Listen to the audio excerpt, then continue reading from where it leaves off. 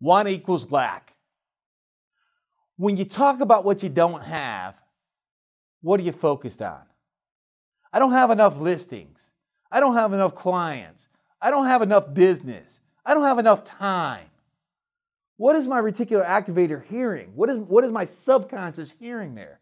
It's hearing what you don't have. So you're focusing on scarcity rather than focusing on abundance.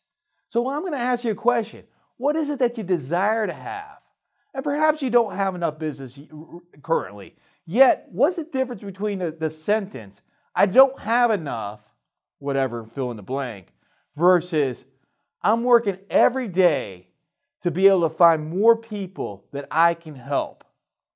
Do you hear the difference in the phraseology of that, and the mindset and the belief of that? So when you come from a place of abundance, listen, if you're in Northern Virginia, there's more than 5 million people within a stone's throw, within a DC metropolitan area, around 11 million in DC and Baltimore, that will be selling or buying a home at some point in their lives, most likely. So there's abundance in this community. And when you understand that and you approach your life, you know, that's just one little segment from a place of abundance rather than scarcity, then you never have to want and you never have to lack. If you're a real estate agent and you're, you're in Northern Virginia and you're looking for an abundant life, I'd love to sit down with you and learn more about you. My name is Dan Rochon. I'm with Keller Williams Realty, greetingsvirginia.com. Give me a call, 703 562 1788.